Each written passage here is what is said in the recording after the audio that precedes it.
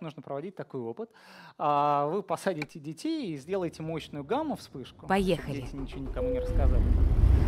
А, и мощную радио-вспышку. То есть сигнал дойдет не одновременно. Вначале дойдет гамма-вспышка, а радио-вспышка уже никому не интересна.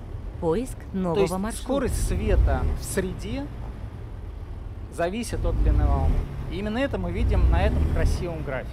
По горизонтальной оси просто время, а по вертикальной Держитесь оси частота. И затем вот эта линия соответствует налево. приходу этого импульса на разных частотах. Поверните налево. Частоты меняются не сильно. Вот 1,3 ГГц, вот 1,5 ГГц. Средняя частота 1,4 ГГц. Это такая волшебная частота. Про частоту никто не знает, а про длину волны все знают. Это 21 сантиметр.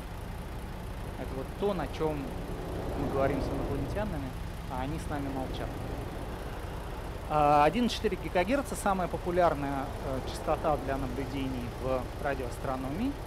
И видно, что на высоких частотах сигнал приходит нам быстрее, а на низких частотах позже. И насколько сильно искривлена вот эта линия, показывает нам, сколько вещества было на пути импульса.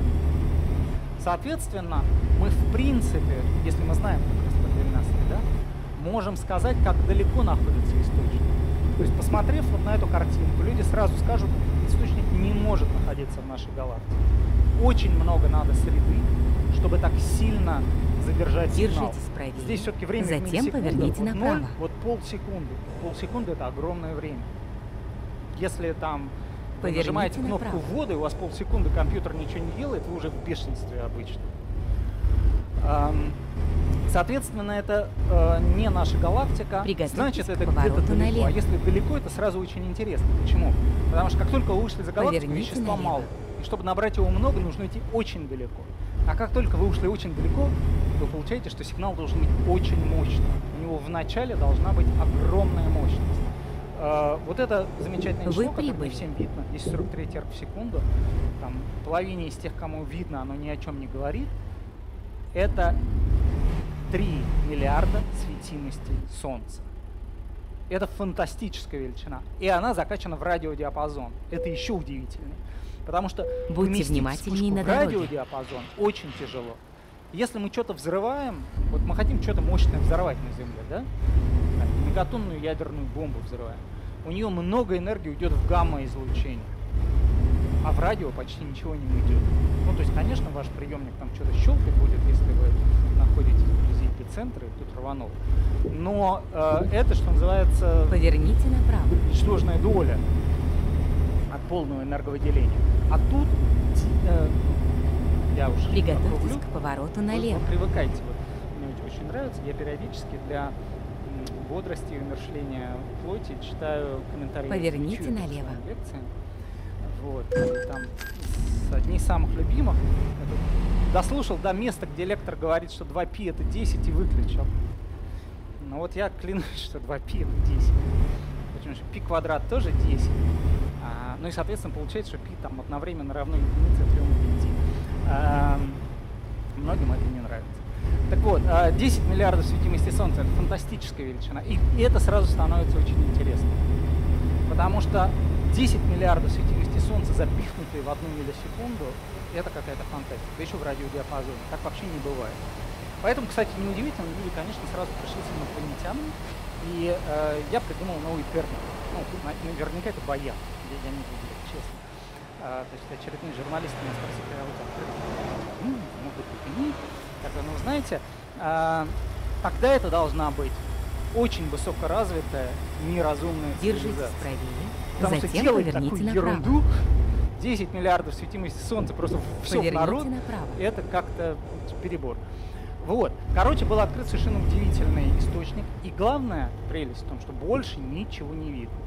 Вот эта короткая радиовспышка, хорошо локализованная, все, технология была отработана, и больше ничего не видно. И это э, страшно интересно. Открыли это случайно, открыли в архивных данных. Это замечательный э, радиотелескоп э, вблизи города Паркс в Австралии. Э, он так скромно выглядит, но чтобы вы представили, от сих до сих 64 метра. 64 метра. То есть вот слово, реально. Вот, как ну давайте прям проведем голосование. Кто считает, что он сможет кинуть теннисный мячик на 64 метра рукой? Есть такие люди в зале? Ну, иногда встречаются. В принципе, это реально. Но это очень тяжело. А, короче, вот от сих до сих не просто. А, этот телескоп работает много лет, ищет радиопульсары, в частности, много чего делает полезного.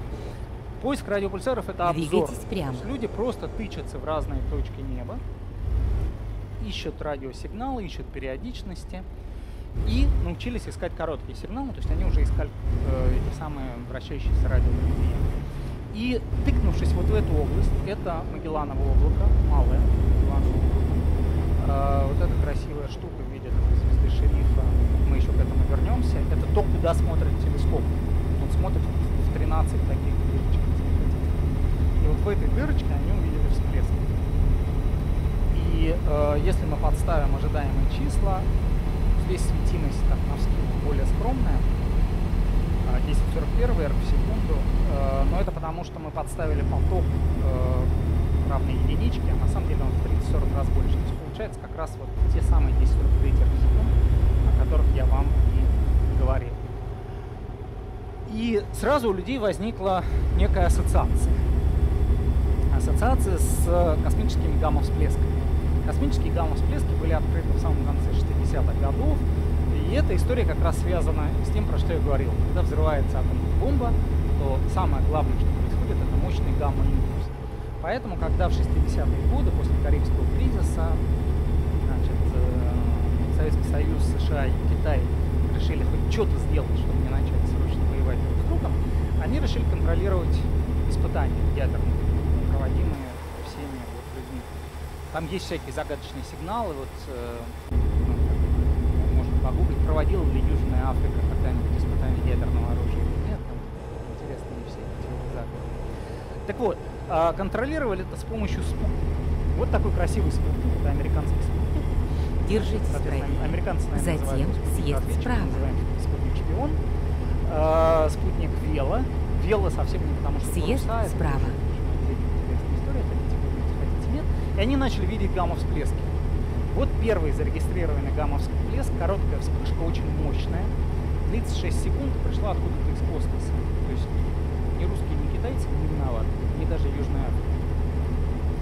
А, Не сразу, естественно, результаты с военного спутника попали в астрофизические журналы, но это довольно быстро произошло за несколько лет.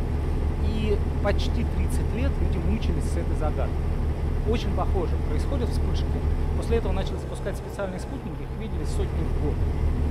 Они происходят, они мощные, они происходят где-то в космосе, но мы не знаем где. Может быть, они происходят в Солнечной системе. Может быть, они происходят на расстоянии в миллиарды световых лет. Люди 30 лет это обсуждали. Выяснилось, что все-таки они происходят на расстоянии в миллиарды световых лет. И решить загадку удалось, потому что люди все-таки в 90-е годы одновременно увидели вспышку в гамма-диапазоне и в начале в рентгеновском. Чем плохо видеть только в гамма? Тоже понадобится. В гамма-диапазоне трудно точно определить координаты. То есть, если вы знаете, что вспышка произошла вот там, с точки зрения современной астрономии, ни о чем не говорит. Там очень много интересных объектов. Если вы туда наведете телескоп Хаббла, он увидит миллион галактик. Вот реально, вот если я свой палец проецирую в небесную сферу, подниму тем самым свою самооценку, то э, вот в области, закрытой пальцем на небе, можно увидеть миллион галактик. И сказать, где там, что произошло, совершенно невозможно. Э, проблему решили в 90-е годы, запустив, сделав очень простую вещь. Запустили спутник, это, итало-голландский. Две великие космические державы, Италия с Голландией. Э, запустили спутник, где в одну сторону смотрел гамма-телескоп и рентгеновский телескоп. И они какое-то время ждали, но все-таки они дождались довольно быстро, за год, по-моему, а, вспышки, которые одновременно была увидена там, и там, а в рентгеновском диапазоне умели координаты определять точно. И тогда смогли навестись, увидели, что в далекой-далекой галактике произошла вспышка сверхновой, и так узнали о том, что же такое гамма-всплеск. И тут происходит примерно то же самое, но в радиодиапазоне. То есть история повторяется. Как писал Кнышев, знаете такой человек Кнышев? Хороший человек. Писал, история повторяется трижды. Два раза в виде трагедии, один раз в виде а, но вот пока это повторяется в виде интересных явлений. вот, э, 2007 год, первый всплеск, интересная загадка и тишина.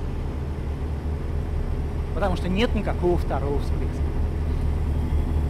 Доходит 2007 год, 2008, 2009, то есть кризис. 2008, 10, 11, ничего не происходит, кроме кризиса. А, наступает 2012 год, и люди открывают второй всплеск. Вот снова такая линия. Но, в отличие от предыдущего, который был там ниже Малого Магелланова, вот этот произошел в плоскости галактики. И это, в принципе, указывает на то, что, скорее всего, это объект галактической плоскость галактики не такая большая на ней, Млечный Если у вас есть два объекта, один произошел в плоскости галактики, а другой нет, вы решаете, что в плоскости галактики это типичный объект, а тот, который нет, это какой-то странный урод, которого вам посчастливилось обнаружить. Вот и все. И это меняет полностью картину, это никакие не объекты с миллиард Солнца. Вы начинаете придумывать другие объяснения, и объяснения могут быть очень красивые. А, люди в этой статье 2012 года а, предположили, что это испаряющаяся черная дыра. И если бы они были правы, ох, если бы они были правы, это было бы, конечно, интереснее любой быстрый всей. Ну, мы не знаем, что это такое, это тоже интересно. Но это была бы фантастика. К сожалению, это не оно. И ситуация, короче, яснее не стала. Держитесь левее. Второй и, ничего не ясно. Более того, были открыты перитоны. Перитон это крылатая олень. Это картинка из Википедии, а в Википедии все правда. Вы можете зайти посмотреть. Перитон выглядит именно так. То есть если вы выйдете по набережной Фонтан, это перитон. Тоже вот такая полоска, но видите, она полоска какая-то пятна. И вроде бы он имитирует внегалактический далекий-далекий объект, но на самом деле ясно, что это вот какая-то ерунда. Что-то происходит здесь. У нас же постоянно что-то трещит, да, в атмосфере, еще кто-то говорит. Люди исследовали самые разные варианты. Первая гипотеза была очень интересна. Миллисекунды, что это такое? Радиотелескоп смотрит в очень маленькую точку на небе. Вот реально вот пальцем. Вот сколько вы закрываете, радиотелескоп самолет пролетает, ну, можете поэкспериментировать. Вот летит самолет, попробуйте закрыть его пальцем, вы считаете, за сколько он летит с другой стороны пальца. Доли секунды. А, люди проверили расписание рейсов, не летает ничего на небе, что видят радиотелескоп, не летает. Но самое главное, что таких событий видели много, десятки. И смотрите, что у вас есть. У вас есть всплеск 2007 года, когда значит, часть людей возбудилась, подумал, что это интересная загадка, далекие галактические источники. Шесть лет ничего, открывается второй всплеск плоскости галактики, и ситуация становится непонятна. А потом вы открываете полсотни объектов, которые явно технические. Тогда вы вообще решаете, что у вас есть какой-то шум непонятный. Есть два объекта, которые наверняка такой же шум, просто почему-то не пятнистый. Вот и все. Такое бывает. А, и поэтому как-то вот Расчет нового лет, маршрута. Э, была, был такой затишье. Загадка была, но люди не мучили себя ей. И ситуация радикально изменилась летом 2013 года, когда было представлено сразу четыре новых всплеска. И вот здесь я сделаю маленькую паузу и напомню тем, кто, в смысле, напомню тем, кто знает, и расскажите мне, что означают вот эти загадочные цифры, у меня иногда появляющиеся на. А, есть такой очень полезный сайт, Архив.орг. Это крупнейший депозитарий э, предпринятых научных публикаций. Там сейчас больше полутора миллионов статей. И астрофизики, он 25 лет назад появился, астрофизики почти сразу начали его очень активно окучивать в астрофизике более или менее все сколько-нибудь значимые статьи появляются там. Авторы сами их туда кладут. В чем прелесть статьи там в свободном доступе. То есть вот, нет у вас доступа в Nature. И не надо лезть в какой СЦХ. Есть цивилизованный способ решить все эти проблемы. Не, не обязательно что-то воровать. Можно обойтись без этого. А в астрофизике все статьи из Nature и Science, если авторы хотят, выкладывают сюда, авторы обычно. И вот это номер статьи в архиве. Что важно, 13 это год, 07 это месяц. То есть цифры, которые здесь появляются, даже если вы никогда не полезете искать эти статьи, то, э, по крайней мере, это помогает следить за хронологией. Примерно представляете, когда все это происходило. Так вот, э, в статье Торнтона с товарищи было представлено Затем четыре новых справа. события. Ни одно из них не лежало в плоскости галактики. Это очень надежный источник, совершенно Съезд не похожий справа. на перитоны. И вот тут, 2013 года, стало ясно, Держитесь да, правее. Затем поверните направо. Появилось название «Быстрые радиовсплески». Поверните направо. Э, И вот с этого момента, с июля 2013 года, теоретики озаботились прямо мгновенно. И за полгода придумали несколько десятков, ну, пару Держитесь левее. Затем а, том, поверните может налево. Мы с вами потом про это потихоньку поговорим. Поверните налево. А, Чуть позже люди узнали, что такое перитоны. Э, Это сделали две вот эти замечательные девушки э, Приготовьтесь к повороту налево. К этому моменту фактически все быстрые радиовсплески перитона были обнаружены Поверните только налево. телескопом в Парксе. И эм, было ясно, что если Приехали. перитоны это какие-то помехи, их надо искать локальные. Люди проделали колоссальную работу, и в апреле 2015 года, в апреле, да, а, появилась статья, она вот только что не 1 апреля вышла, она очень смешная. Люди выяснили, что это микроволновка. А, я, я боюсь, что 90% аудитории знает, но я расскажу. А, астрономы, они думают об астрономии, а не о еде. И вообще любой нормальный человек не ждет мерзкого блямкающего звука микроволновки, что все готово. И нажимает кнопку открывания дверцы за секунду до того, как все будет готово. Правильно? Согласитесь. А, так вот, когда вы его открываете, умная электроника тушит все, чтобы, значит, вы тоже не разогревались.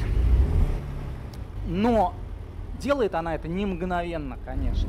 И пока дверца открывается, а электроника все выключает, немножко радиоволн вылезает наружу. И поэтому при определенной ориентации телескопа, если открывалась микроволновка, то радиотелескоп регистрировал всплеск. И они более-менее все объяснили. У них есть один удивительный всплеск, они не могут его объяснить, воспроизвести. Считается, что в дверце микроволновки застряла фольга.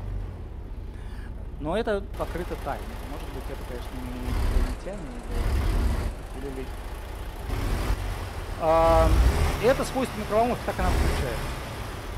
Вот, более того, в статье есть замечательная фраза, а, я ее в переводе воспроизведу дословно. Бимодальный характер распределения перитонов по мере дисперсии объясняется двумя разными типами микроволновок, работавших в обсерватории. То есть это еще и уникальная особенность. Так что вот к этому моменту действительно загадка стояла в полный рост, и это все было очень важно. А, насколько это уникальные всплески? Вот еще один график красивый. Здесь э, нарисованы разные радиовспышки. Ну, вспышка понятие растяжимое. Знаете, как у человека вспышка ярости, она длится 15 лет, например. А, в радиоисточнике тоже могут себя так вести. По горизонтальной оси, по сути, отложена длительность всплеска в секундах.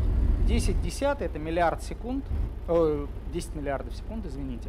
А 10 миллиардов секунд это 30 лет, если, э, 300 лет, извините. Миллиард секунд это 30 лет. А, то есть есть длинные вспышки, но мы знаем, что это переменные источники.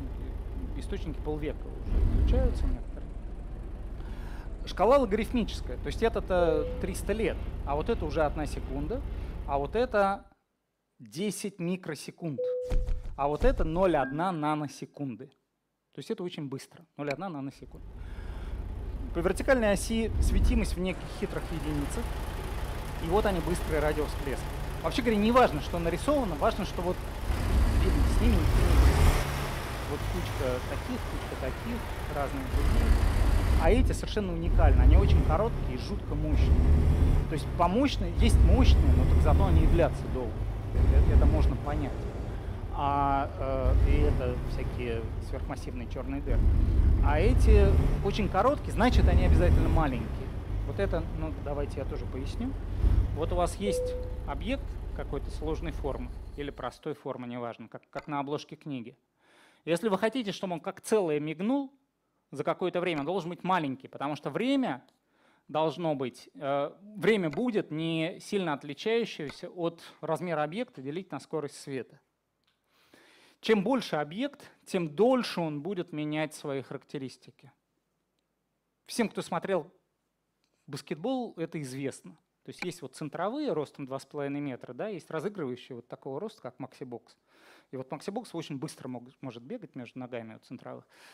А, и это общее правило. У него вот меньше L. А скорость света какая есть, такая есть. Ну, в данном случае это скорость Все готово. Приятный поездки. А, ясно, что это должны быть маленькие объекты с совершенно фантастической энергетикой. Я не буду останавливаться вот на этих числах. То есть я могу вас, вас просить, что в некотором смысле можно сказать, что а, что температура этих объектов 10 в 35 градусов, но это не физическая температура, поэтому пугаться не надо. А, но они действительно совершенно уникальны. Хорошо. Чем это можно объяснять? Ну, естественно, если у вас есть энерговыделение за короткое время, Хорошей самое работы. простое что-то взорвать. Но, как я уже говорил, если вы что-то взрываете, очень трудно всю энергию запихнуть в радиодиапазон. Почему? Если у вас есть вокруг вещество, вы обязательно его нагреваете. Вы нагрели вещество, оно будет светиться или в оптическом диапазоне, или в рентгеновском диапазоне. Если у вас там какое-то движение с околосветовыми скоростями, вы наверняка получите гамма-излучение. Поверните налево.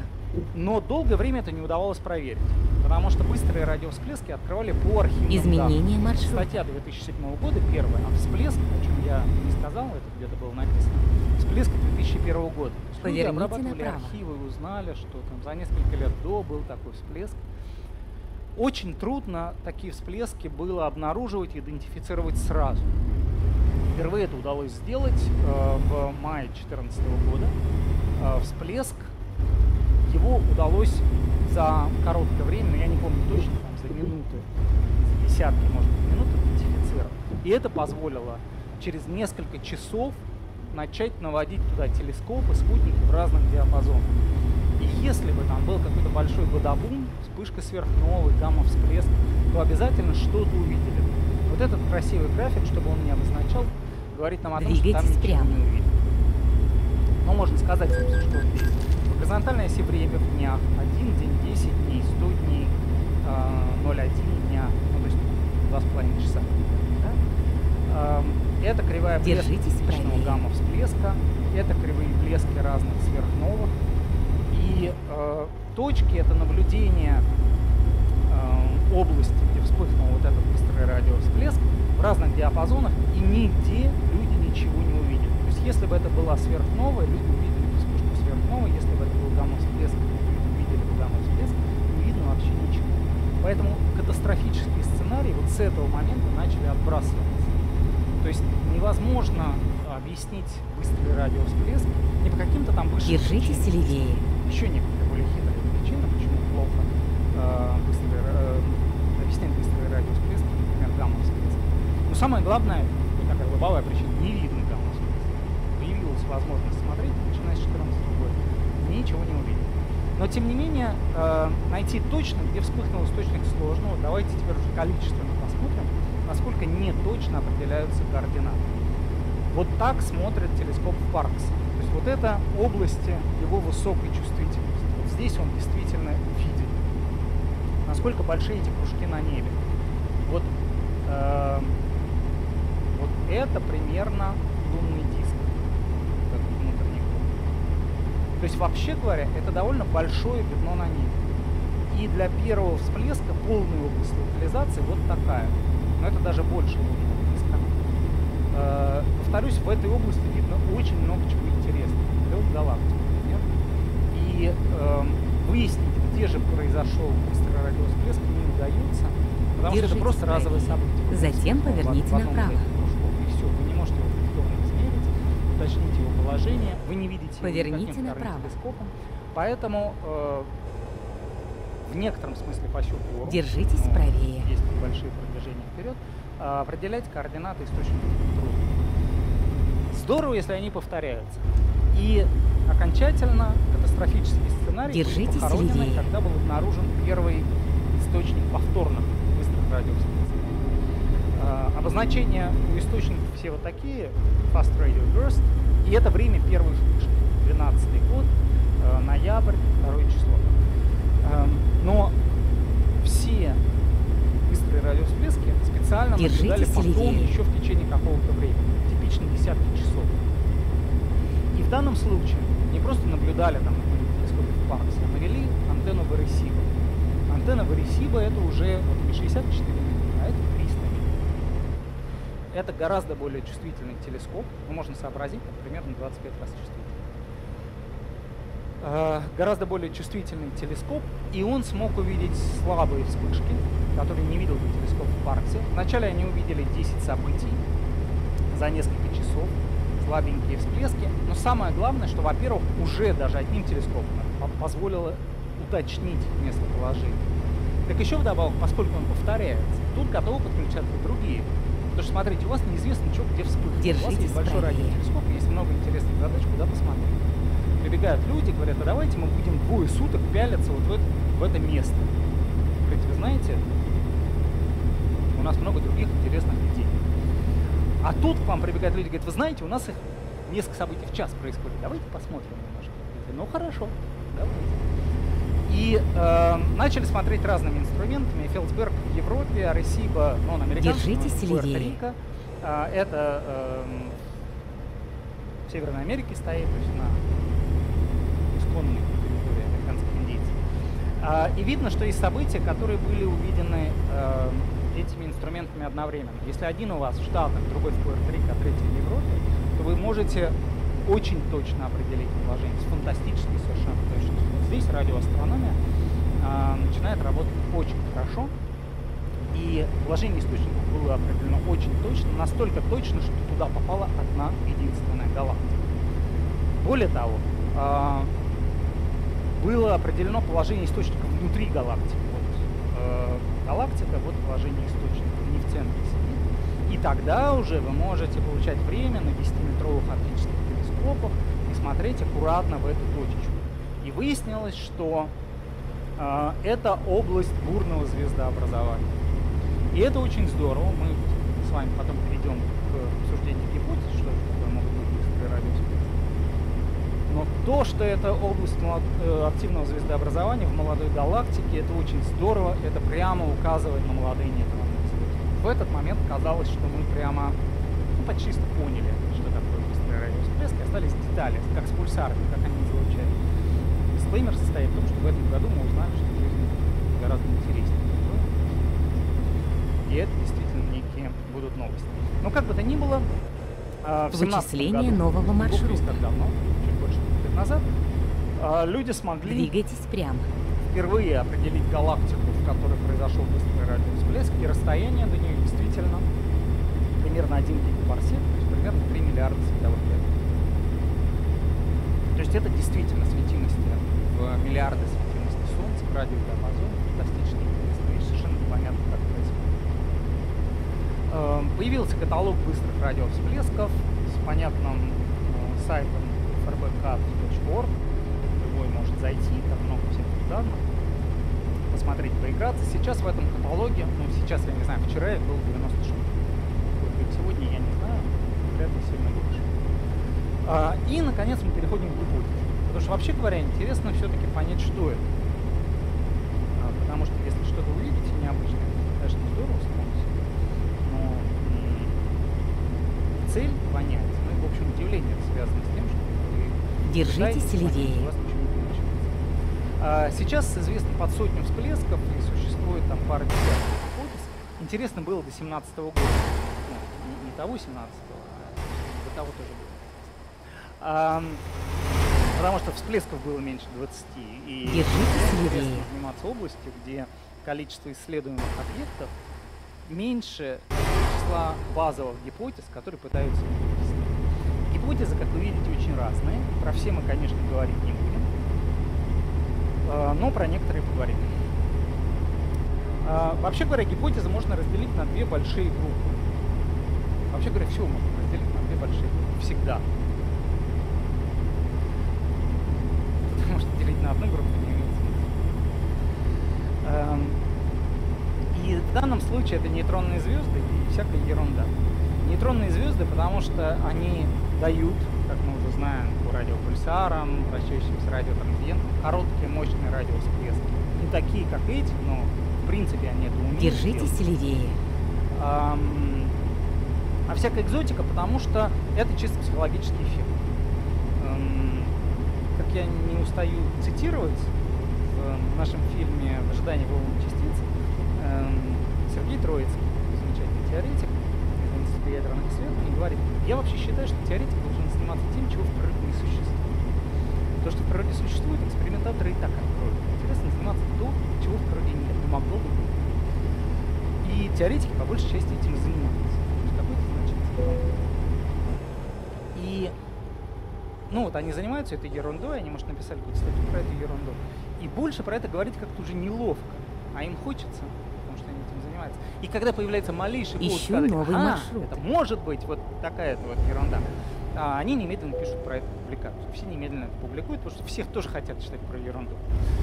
Эм, в общем, ученые им тоже не чужды какие-то человеческие инстинкты. И э, в этом смысле э, обилие экзотических гипотез, оно вполне себе объяснит. И интересно. Это хороший повод поговорить. Поэтому, вообще говоря, э, рассуждая про быстрые радиосплески, чем тема хорошая, можно там, чуть ли не физику обсудить, потому что люди предлагали бог знает что. Э, точно так же, как я уверен, что можно там весь курс астрономии Держитесь построить, правее. рассказывать Затем съезд справа. Весь курс общей астрофизики рассказывать только про взрывы сверхновых. В принципе, это настолько богатая Съезд тема, справа. что они позволяют все обхватить. Ну, а вот дальше будет. Держитесь правее. А, хорошо. А, начнем с экзотики, естественно, чтобы быстро по внезапно. Немедленно, ну еще в 2008 году люди написали, что это космические струны. Важный дисклеймер, никаких космических струн не существует. Ну, то есть есть десятки людей, которые продолжают заниматься. а, тем не менее, люди придумали, как с помощью космических струн сделать вот прям точно быстрый радиосплеск. А, самое правее, скрывает. эту затем. Космические струны, вправо. они, они как духи летают, где хотят. И они вовсе не обязаны сидеть там, в областях звездообразования, Съезд справа. в галактиках. Зачем? Вообще говоря, людям, которые живут в этой галактике, космических Приготовьтесь к повороту налево. А, И в этом смысле хорошая локализация закрывает эту модель, но люди Поверните развивали налево. богатую физику этого направления, в общем, довольно интересно. А, Я уже сказал, что когда был обнаружен второй всплеск, люди предположили, что это испарение черной дыры, и это было бы действительно очень здорово, вполне себе реалистично и здорово. А, Вообще, об- обнаружение испаряющихся черных дыр я бы назвал самым, как сказать, вероятным э, помноженным на интересность открытием астрофизики, которое вот может произойти. Мне трудно назвать что-то более интересное, что в принципе может произойти в ближайшее время.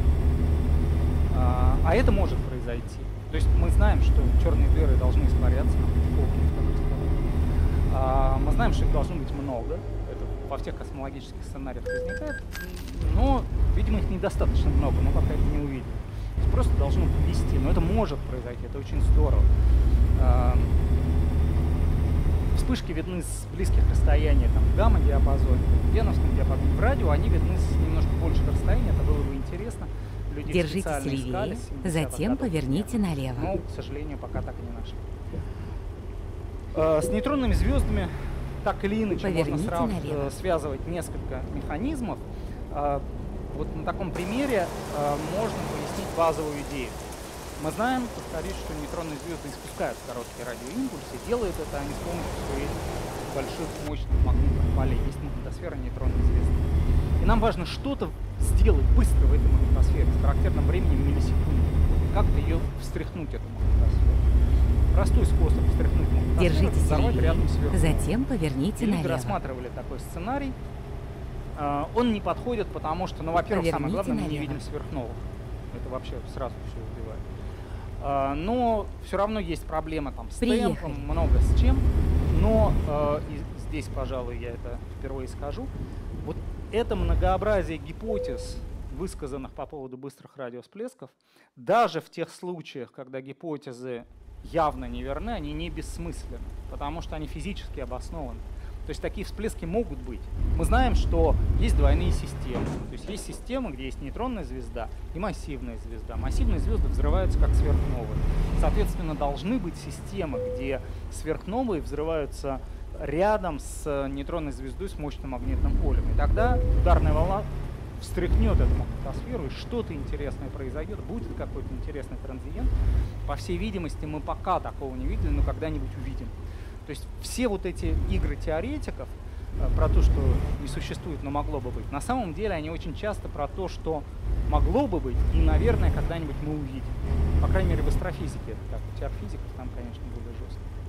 Э, можно не обязательно сверхновую встряхнуть, можно включить активное ядро галактики, можно э, устроить гамма-всплеск вблизи нейтронной звезды. Тут не обязательно уже, чтобы это была двойная система, расстояние побольше становится, не э, там, несколько астрономических единиц, скажем, а несколько парсек.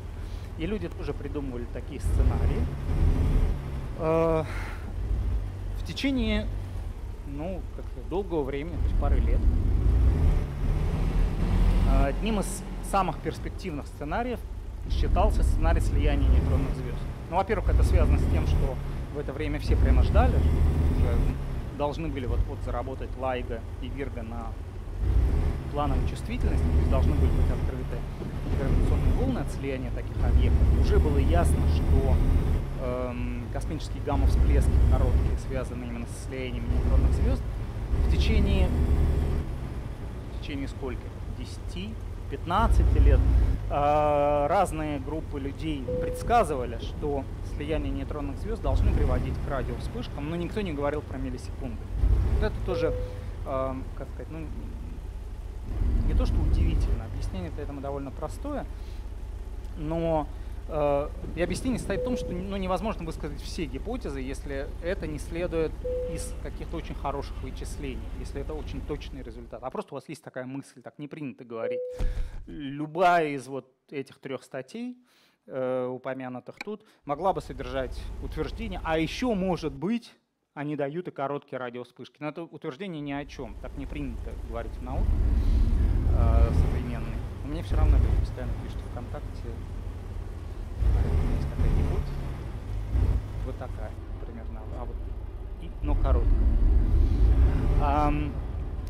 Соответственно, здесь прелесть в том, что выделяется много энергии, все как надо, э, процесс явно идет.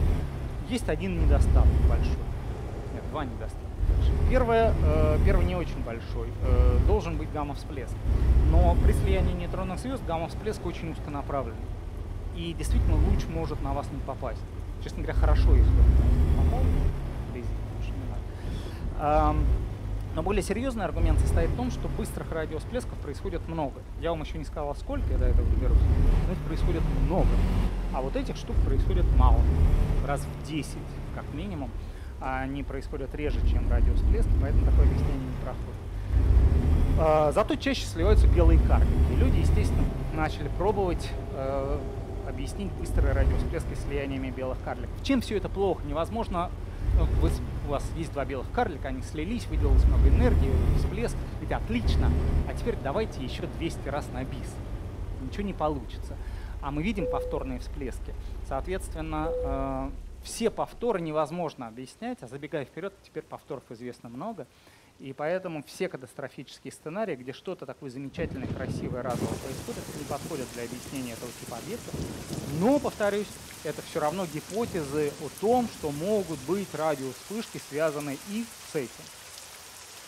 А, следующая очень красивая идея, а, тоже катастрофическая, поэтому тоже закрытая, это супермассивные нейтронные звезды. Если вы возьмете нейтронную звезду и начнете на нее кидать камушки, то что с ней рано или поздно произойдет? М-м-м. Правильно, сколлапсирует черную дыру.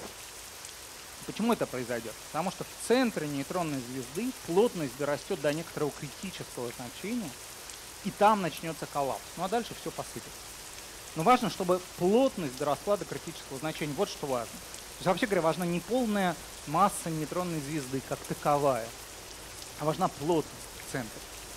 Плотность в центре, ну, конечно, она создается массой, звезда давит сама по себе, но вы можете ее уменьшить, если раскрутите нейтронную звезду. Я вот всем советую наесться поплотнее и сесть на карусель. Вы узнаете, что, или там в центрифуг, а, вы узнаете, что плотность внутри меняется. Там интересные движения происходят.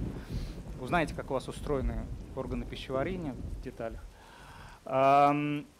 У нейтронных звезд все то же самое. Если вы берете нейтронную звезду, начинаете быстро вращать, плотность в центре падает. Потому что она пытается расшириться, вы ее раскручиваете. И поэтому быстро вращающиеся нейтронные звезды могут быть тяжелыми. Что нарисовано на этом красивом графике? По горизонтальной оси плотность в центре, по вертикальной оси масса. Вот эта линия соответствует предельно возможной массе невращающейся нейтронной звезды. А вот это предельной массе вращающей, предельной массе предельно вращающейся нейтронной звезды.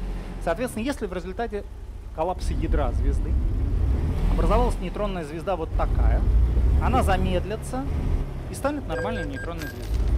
А вот если вот такая, то она, замедляясь, в какой-то момент сколлапсирует черную дыру, потому что она дойдет до критической плотности, она окажется в области неустойчивости. Но в этот момент это нейтронная звезда еще, у нее есть магнитосфера, токи текут. И это уж точно хороший способ встряхнуть нейтронную звезду, превратить ее в черную дыру. И, соответственно, это способ, в принципе, сгенерировать мощный радиовсплеск. Это тоже была довольно популярная гипотеза. Эм, расчеты показали, что очень трудно долго продержаться. Авторы вначале считали, что так тысячу лет можно ждать, пока не произойдет коллапс. Более точные расчеты показали, что трудно ждать дольше нескольких часов. И поэтому э, мы должны видеть сверхновые, связанные с быстрыми радиовсплесками. Мы их не видим, поэтому вот красивая гипотеза тоже упала. Другая очень красивая гипотеза. И вот тут, что мне нравится у авторов, а, это один из примеров того, когда люди, конечно, пишут сразу, ну, вот есть такая идея, она вообще не объясняет все быстрые радиовсплески, но идея очень красивая, и так может быть.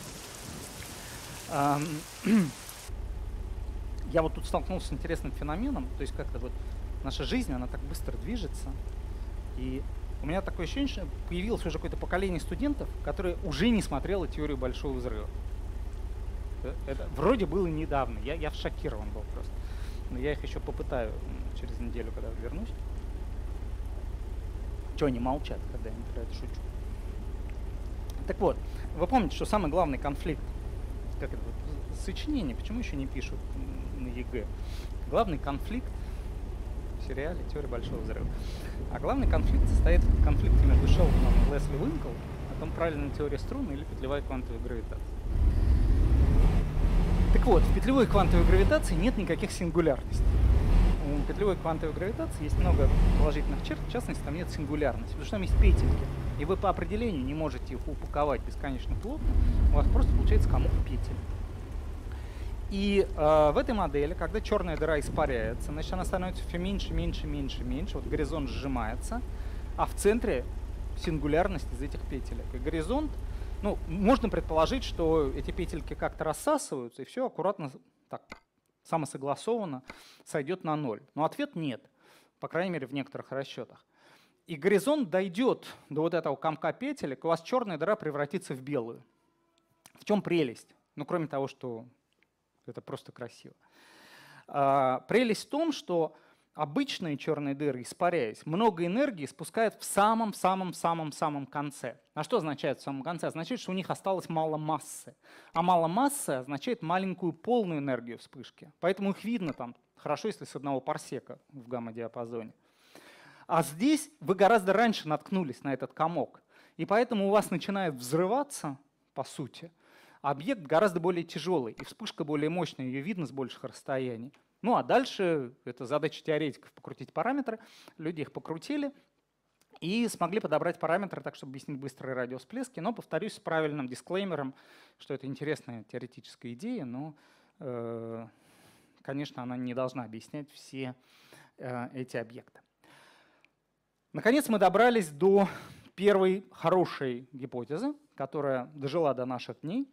И она связана вот с чем. Мы знаем, что есть нейтронные звезды, мы знаем, что э, темп потери энергии нейтронной звездой, э, давайте я по-умному обозначу это Е с точкой, могу по-глупому обозначить это буквой L, как вам больше нравится. Но самое главное, что эта штука пропорциональна магнитному полю в квадрате Начинаем движение. И периоду вращения в минус четвертой степени. То есть в два Держитесь раза увеличили правее. поле, в четыре Затем раза поверните направо. в два раза увеличили период, Поверните направо. в 16 раз э, увеличили, в два раза уменьшили период, в 16 раз увеличили энерговыделение. Соответственно, что мы знаем? Мы знаем, что есть пульсар в граве, пульсар в крабовидном туманности, который спускает мощный импульс. И вот на этом, на всех этих красивых графиках это показано. Это. Извините. А, это сам импульс. А здесь, э, насколько часто происходят импульсы с разной энергетикой. Держитесь В общем, короче, есть Затем супермощные вправо. импульсы, которые происходят редко, но они реально мощные, и поэтому их называют гигантские Съезд импульсы. справа. Гигантские импульсы пульсара в крабе. Так вот, пульсар в крабе имеет поле 3 на 10 12 гаусс, чтобы это не значило, период вращения 33 миллисекунды. Мы можем себе представить поле десятки раз. Затем больше. поверните направо. Десятки раз в квадрате дадут нам тысячу.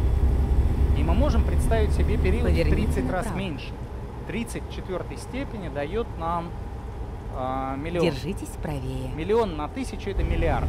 То есть если мы наивно скажем, что, э, ну представьте, вот грубо говоря, э- это, конечно, сильная экстраполяция. Я могу пойти после лекции в ресторан там, за два часа потратить, ну, я не знаю, съесть на 2000 рублей. А дальше вы делаете интересную экстраполяцию. Вы говорите, а вот туда пойдет миллиардер, и поскольку денег у него там условно... в- Двигайтесь прямо. в миллион раз больше, а, он за два часа съест не на 2000, а на 2 миллиарда рублей. Ну, мы, знаем, что на самом деле не получится съесть на 2 миллиарда рублей, даже если есть деньги.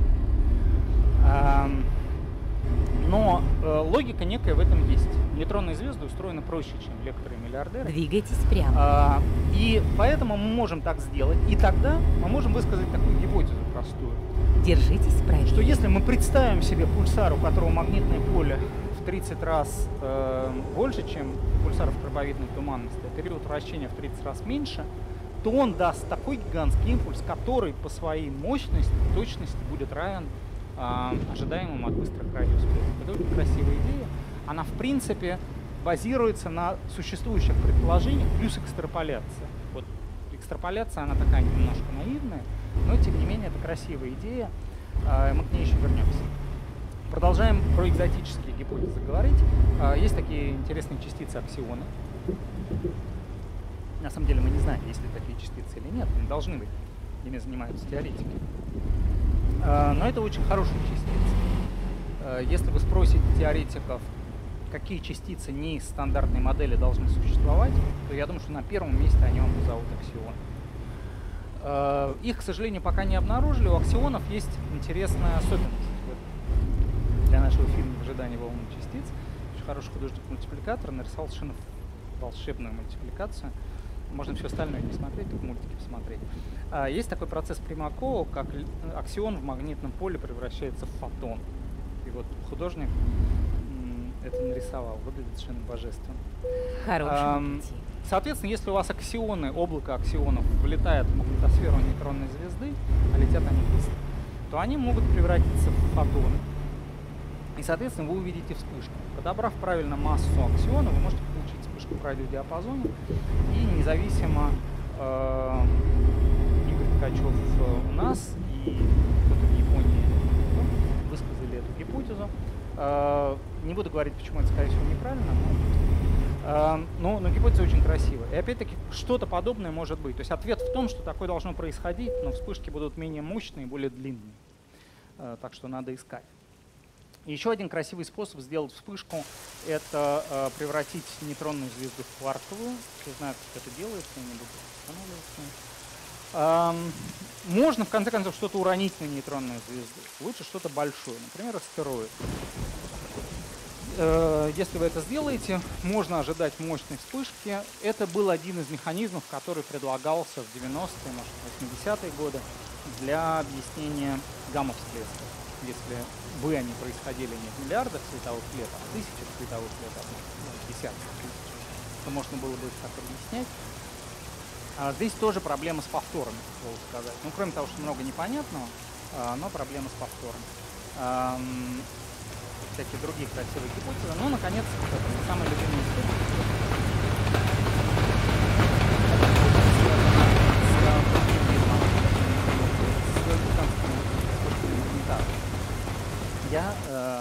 Вообще я как бы не устаю про это говорить. А, давайте над вами проведу опыт. Но как, кто знает результаты опыта, помалкивает. А, назовите мне самое интересное, важное астрономическое открытие, то есть не теоретическое, а самое интересное астрономическое открытие, важное астрономическое открытие, когда-либо сделано в нашей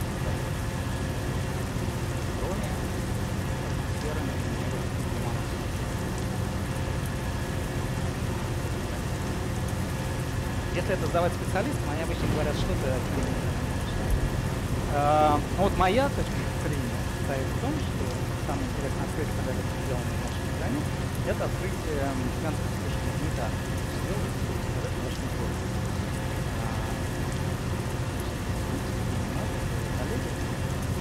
В 1979 году открыли гигантскую вспышку магнитара. Это фантастическая штука. Нейтронная звезда, вы знаете, что это шарик, шарик размером с шарик размером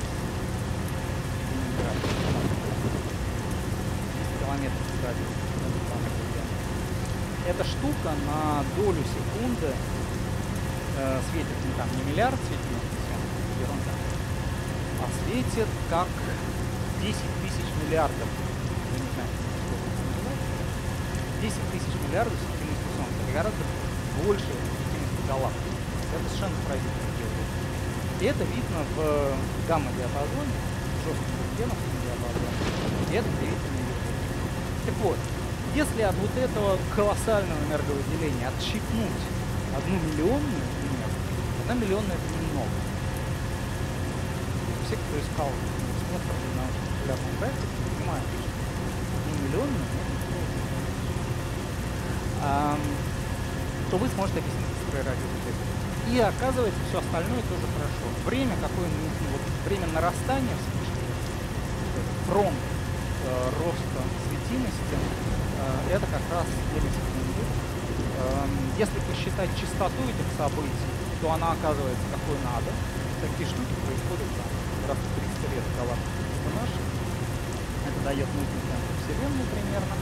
Э, и поскольку это мы должны наблюдать с больших расстояний, там кроме радиовспышки ничего не видно. У нас недостаточно хорошие гамма-телескопы, чтобы увидеть вспышки магнитара с расстояния в один парсек. Поэтому это очень красивая гипотеза. Ну, у нас это было такое в 2007 году, такое бла-бла-бла. А Юрий Любарский в 2014 году, превратил это в детальный теоретический сценарий. До сих пор это активно развивается. Последняя статья Андрея Белобородова в августе где прям очень детально проработан механизм. Хочется сказать, похоже это объясняет все. Эм, так что, вообще говоря, есть, по крайней мере, очень хорошие кандидаты с теоретической точки зрения для объяснения источников гуманитаров. Там есть все равно некоторые склады, пока углубляться, но тем не менее. Э, Саша, а можно туда Идея примерно такова. Нужно, чтобы магнитар был... А, вот это думаешь, я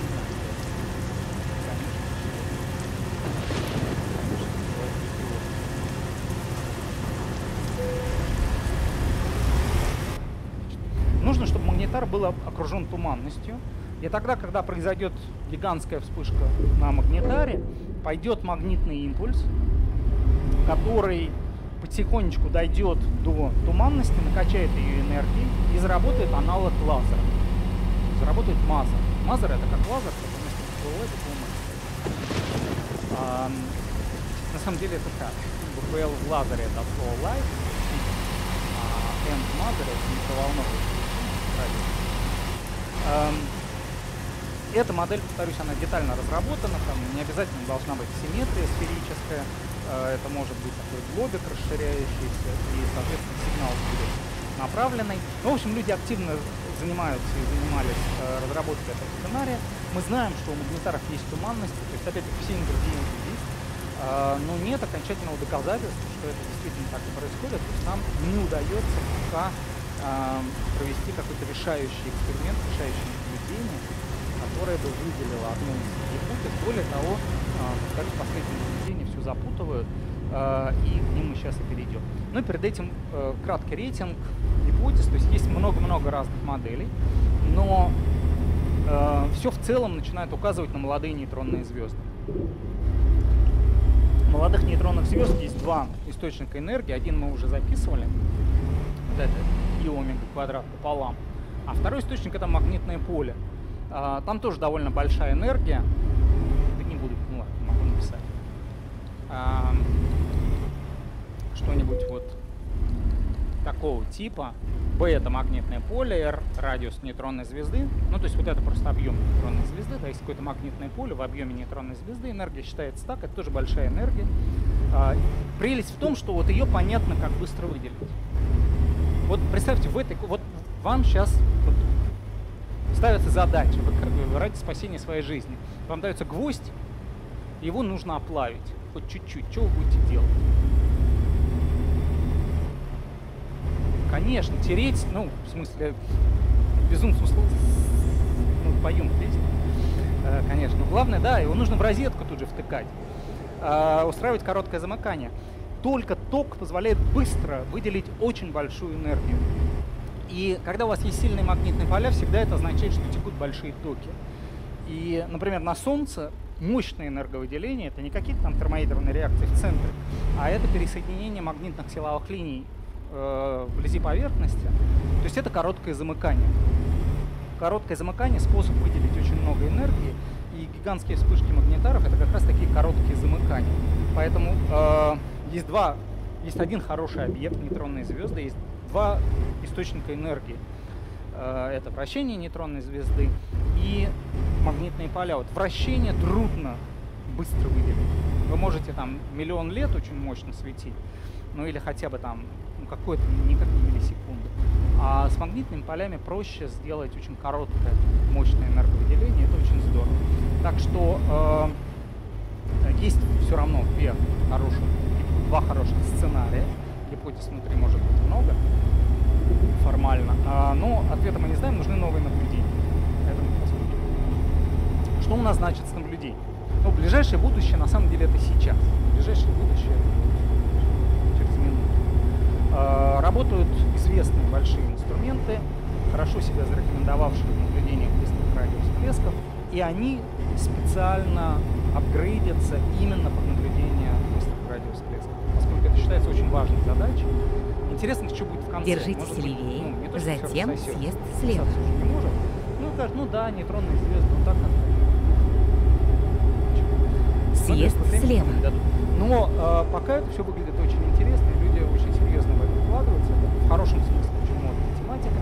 То есть идет работа в Паркс, 64 метра, и в Аресиву вот это чуть больше 300 метров России. Но зато она не поворачивает. Держитесь правее. Слишком большая для того, чтобы ее поворачивать. Но я уверен, в следующем чемпионату мира у вас сделают футбольный стадион, который еще будет поворачиваться и превращаться в свободу. Есть специальные проекты, э, предназначенные ну, практически прямо для поиска быстрых радиосвязей. Э, иногда это просто какие-то такие вот приблуды на имеющихся инструментах. SuperB — это проект телескопа Паркси, то есть это некая система поиска, которая в прошлом году эффективно начала работать. Просто она делает инструмент более эффективным. А иногда это прямо новый инструмент. Первым заработал в Австралии Atmos. Это вот такая система телескопов. Это уже не, совсем не похоже на тарелки. Это вообще похоже на атаку клонов. Это вот э, совсем по-другому выглядящий радиотелескоп. Похоже, к слову сказать, на глушилку. Если кто-то видел реально, кто видел вот глушилки, которые используются для глушения вражеских голосов раньше? Ну, примерно так а, прямо технологии двойного назначения. Надо срочно у нас строить, уже пора, и заодно быстро... Поиск нового маршрута. А, по крайней мере, все к этому идет. А, а, еще более хороший инструмент, который заработал чуть позже, этот заработал где-то там в семнадцатом году, этот в восемнадцатом э, инструмент Chime, канадский инструмент. Э, вообще говоря, изначально он был предназначен для, в первую очередь, космологических наблюдений, 21 сантиметра, грубо говоря. А, но на самом деле на более длинных волнах, поскольку идея была наблюдать 21 сантиметр, но приходящих больших красных смещений. оказалось, что это из работающих инструментов идеальный сейчас инструмент для поиска новых Держитесь э, левее. радиовсплесков. Э, по оценкам они должны видеть всплеск в день, но инструмент работает недавно, и это не происходит так, что они увидели всплеск, и, значит, утром в газете, вечером телескопе, вечером, значит, э, статья в архиве появилась. Они потихоньку обрабатывают данные, но действительно, скорее всего, они выйдут в итоге на такой примерно темп, наверное, за следующие пару лет видит несколько сотен всплесков. Это только строящийся, ну даже проектируемый проект. Это аналог чайм, немножко по-другому выглядящий в южном полушарии. Чем чайм важен, вот давайте я скажу, все до этого инструменты в основном работали в южном полушарии, что означает Австралия. То есть Паркс, э, Атмост, э, это все Аскап, про который мы сейчас поговорим. Это австралийские инструменты. Держитесь эм, левее. Чайм канадский, соответственно, наблюдает северное небо. Пугает эм, в будущем. Но на самом деле вот это уже ближайшее будущее. Это 500-метровая антенна. Это китайский телескоп FAST. Э, позавчера, позавчера или позавчера они э, опубликовали данные о своих первых быстрых радиусах. Держитесь левее. Но они не искали новые, э, они искали повторы от первого источника повторяющихся всплесков. Э, и они их увидели, то есть, по крайней мере, это демонстрирует, что инструмент работает, он очень эффективен, он пока в стадии вхождения в научную работу, но когда он заработает, то они будут видеть всплеск за неделю, учитывая чувствительность, им все равно куда смотреть. Прелесть. То есть люди могут наблюдать что угодно. Держитесь левее. задача, а еще они будут краснуть. А, всплеск это очень здорово. Ну, наконец, счастье радиоастрономов наступит, когда появится вот это. Это система SKA. А, это в некотором смысле фантазия художника. Система SKA, она такая большая и хорошая, что она нигде не поместилась. Половина будет в Австралии, половина в Южной Африке. А, когда она заработает, но это не скоро, это 20-е годы, не, не 21 20-е годы, они будут видеть всплеск за час. Что еще интересного происходит? Происходит такое нормальное развитие астрономии, которое может привести к важным интересным последствиям для быстрых радиосплесков, хотя делалось не для этого. Эм, ну, почти любая наука, астрономия в частности, устроена так, что возникает какая-то тематика, которая, условно говоря, становится модной, э, ну, то есть все считают, что она важна. А что означает все считают, что она важна? Означает, что вкладываются большие деньги. Когда туда вкладываются большие деньги, туда проще вложить еще больше денег. Потому что, ну как это, вы приходите к чиновнику, а я хочу вот на этом. Так кто еще этим занимается? Никто. У нас такая идея, новая разработка. Ну, ладно. Да нет. А приходите, говорите, вы знаете, все этим занимаются, а мы отстаем. Хорошо, вот вам денег. Сколько дают они? Ну, дают миллиард. Здорово, говорит. Тоже дадим миллиард на рублей что-нибудь в этом духе. Но э, это действительно развивающаяся, сейчас самая такая развивающаяся тематика гравитационно-волновых наблюдений. И, как вы знаете, очень важно одновременно видеть а, события в других диапазонах. То есть Лайга Вирга увидели всплеск гравитационных волн, а люди хотят одновременно видеть всплеск в оптике, в гамм, в рентгене, в радио, везде. И поэтому развивается технология более или менее постоянного или мониторирования больших областей неба, или очень быстрого наведения. То есть вот Лайга сработала, если это мощный сигнал, они безо всяких шуток со скоростью света отправляют сигнал, с какими-то задержками, которые связаны в основном с тем, как компьютер разрабатывает. Э, доходит Держите до других инструментов, инструмент Затем съезд справа. И э, есть несколько таких проектов. Ну, съезд справа. названием, типа Wider Faster. Э, и идея в том, чтобы быстро наблюдать один кусок неба, и вот эта область э, наблюдения самых разных инструментов в разных диапазонах спектра, э, в оптическом, в ультрафиолетовом, рентгеновском, радио, в общем, самых разных. Держитесь левее, затем поверните налево. Я напомню, что вот это примерно размер лунного диска. Соответственно, вот область там, порядка квадратного градуса, они быстро все накрывают. И это очень здорово. Повторюсь, предназначено это для быстрого Вычисление нового маршрута. Алерте с гравитационно-волновых детекторов, но, естественно, система может работать и от других алертов, и, э, по крайней мере, ее элементы работают по алертам с э, радиотелескопов, которые идентифицируют быстрые радиовсплески. Поверните э, налево, Ставятся новые аппаратные компьютерные обеспечения на разных антеннах. Известная система телескопов VLA, которую я уже упоминал в Штатах. В прошлом году они поставили э, новую э, систему RealFast, которая быстро может э, идентифицировать Двигайтесь прямо. Это тоже очень важно. Эм, уже упоминал э, проект ASCAP. ASCAP — это Australian SPA Pathfinder, то есть австралийский прототип системы SPA. Вот такая система радиотелескопов. Э, она может работать в двух модах. Как вот у Бориса Борисовича у него есть две фазы. Э, Двигайтесь в одной моде эта система телескопов покрывает очень большую площадь неба, и тогда, грубо говоря, каждый телескоп смотрит там свою точку. И они могут большими площадями искать. А в другой моде, наоборот, телескопы разные смотрят примерно в одну и ту же область неба, но зато тогда, если они видят всплеск одновременно, они могут очень точно его локализовать. И в этом году это позволило локализовать еще один всплеск. И вот потому что все становится сложнее, если первый был в галактике, э, в области галактики с малой металличностью, в области сборного звездообразования, прям идеальное место для рождения э, молодых нейтронных звезд с экстремальными параметрами, а, то вот эта галактика такая вполне себе нормальная, старая, где много нейтронных звезд не должно рождаться, это, конечно, все запутано. Двигайтесь прямо. немножко непонятно, но надо подождать, может быть, распутываться само собой. А, должна заработать система, пока я не видел с нее результатов каких-то а, в Голландии, они же Нидерланды. Вот на этой системе телескопов должна заработать система Апертив. Э, это важно, потому что это опять-таки северное небо, где работает только чай пока. Постоянно появляются всякие интересные новые данные, но я не буду про все, конечно, говорить, мы уже слишком долго про это все болтаем. Uh, вот Аскап в конце 2018 года, меньше года назад, представил такую пачку новых событий. Очень интересно. Приготовьтесь к повороту Самое главное, направо. что заработал чаем. В 2018 году, когда они находились в отладочной стадии, они уже начали видеть э, вспышки. И э, в январе этого года они представили первые результаты. Поверните направо. Там было 12 новых э, всплесков, плюс источник повторяющихся всплесков. Было очень важно, это вот на этот момент, января этого года, был всего лишь второй э, источник повторяющихся всплесков. Теперь их известно 11. И из этих 11, 9 был инструмент чайник.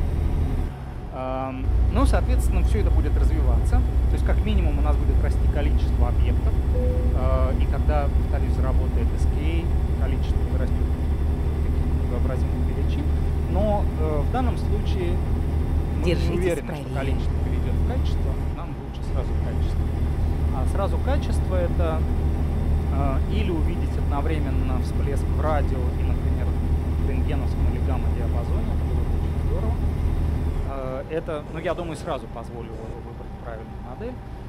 Может быть, жизнь будет устроена иначе, и у источников повторяющихся всплесков удастся найти периодичность между вспышками, как было с вращающимися радиотранзиентами, с которыми мы начинали. А, это тоже, естественно, будет показывать на нейтронных звезды, можно будет определить их периоды. Определим периоды, сможем померить, как они меняются, определим, как они меняются, измерим магнитные поля, и тут все поймем. То есть или одна стертая формула работает, или другая работает. Двигайтесь так что прямо. действительно нам нужны новые наблюдения. А, пока что, что мы знаем, у нас есть под сотню вспышек. Реально э, опубликовано 90 источников, не считая повторов, э, 90 источников, но, повторюсь, и у Аскапа, и у Чайм, и у Атмост, и у Меркат, и, в общем, у всех инструментов есть неопубликованные источники. Я думаю, полная известная Двигайтесь прямо. Нам записывают говорила, нужно подождать, пока хорошо обработают эти данные. Держитесь правее. Затем поверните направо. всеобщего обозрения. Э, Но пока они видны только в радио. Существует много моделей, но есть две хорошие модели. Э, Это или магнитары, или пульсары. Э, Ну, такая экстремальная Поверните модификация. направо. Для пульсаров важно быстрое вращение, магнитаров сильные магнитные поля. Но никто не мешает совместить. Э, И для самых энергичных, самых налево. лучше сказать, источников, как первый источник повторяющихся Поверните налево. всплесков, от которых уже от одного больше сотен зарегистрировали событий. Вот его, конечно, проще всего Мы объяснять прибыли. объектом, у которого и поле сильное, и э, период вращения очень короткий, но период пока померить э, не получается. Ситуация похожа на то, что было с гамма-всплесками. Э, гамма-всплески вот 30 лет мучили людей, Э, эти нас мучают 12, чуть меньше. Э, Ну, соответственно, кажется, что если история действительно повторяется, покажет второй раз, э, то э, в течение не очень большого времени удастся все это понять. Естественно, вы- выходит огромное количество статей, поэтому про это трудно рассказывать. Вот, собственно, я, я в Питер приехал на следующей неделе. В Питере сейчас подряд будет несколько больших конференций астрофизических. Э, Вот э, на следующей неделе будет конференция в Физтехе, как раз посвященная э, там, 25-летию работы э, одного гамма-детектора, который как раз группа Мазица запускала, э, который, вот, в частности, гигантские вспышки магнитаров изучает. Э, И у меня до сих пор не готов доклад, потому что я его готовлю, готовлю, готовлю, хоп, появляется новая статья. Я, отлично, я начинаю с ней разбираться, делаю слова, хоп, появляется еще одна. Все в все это очень как бы эм, непросто, но тем не менее люди пытаются делать обзор. Неблагодарный труд, но все равно надо делать. Э, В этом году вышло два хороших обзора. Они вот есть в архиве, они, естественно, на английском языке. Есть такой э, каталог моделей, он написан в этой статье, но вообще это онлайн-проект. То есть они просто онлайн добавляют новые теоретические модели, когда они появляются. А если вы не читаете по-английски, можно зайти э, в журнал УФН и там найти ну, уже аж годичный почти давности наш обзор, то есть безумно устаревший, эм, по этой проблеме и как углубить свое внимание. Спасибо.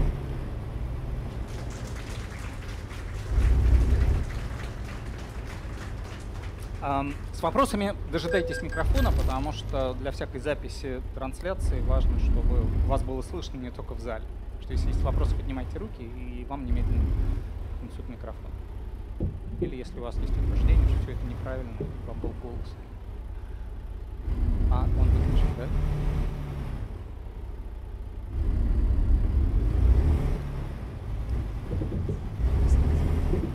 Большое спасибо за лекцию.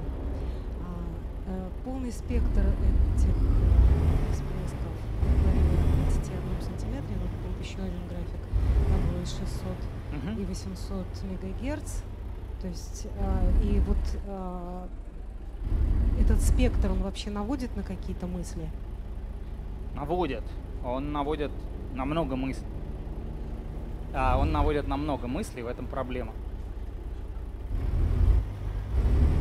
Ам, И то есть спектральные данные, они пока ничего особенно не проясняют. Вот в чем печаль. Поэтому есть спектральные данные, видят, ну, если мы там поверим людям из Пущина, они видят на 100 мегагерцах всплески. Правда, немножко не, дру... не так. Это, может, это я? Нет? А. Ам, совершенно точно видят почти там до 10 гигагерц ам, всплески, но это, в общем, ничего не ограничивает пока. То есть нужно уйти сильно в другой диапазон, чтобы это стало м, существенно. То есть Рентген, гамма, ну, хотя бы в оптику куда-нибудь. Так, ого. Вот там вижу руку.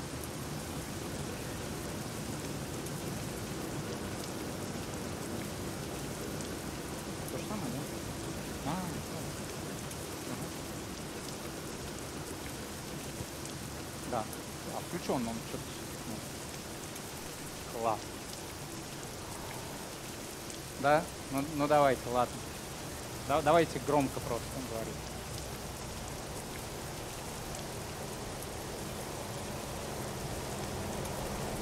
Аксионы. Да.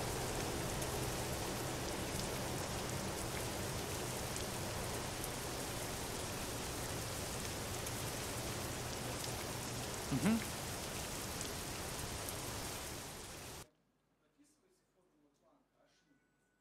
Да.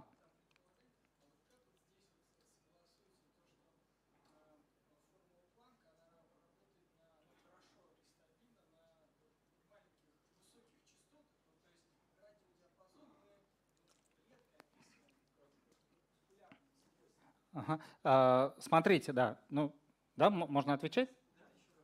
А, давайте.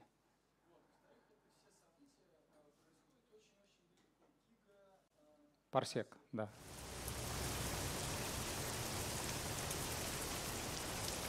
Ну, на самом деле не сильно. Там типичное красное смещение 0,3 для космологов.